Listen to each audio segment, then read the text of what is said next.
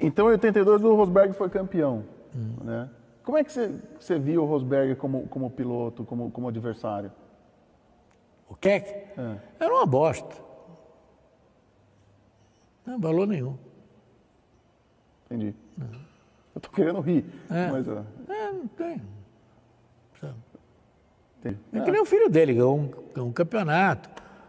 O, o, o. o, neguinho devia estar dando mal mais cura naquela, naquela época, aí tá meio ruim. Então... Entendi. Entendi.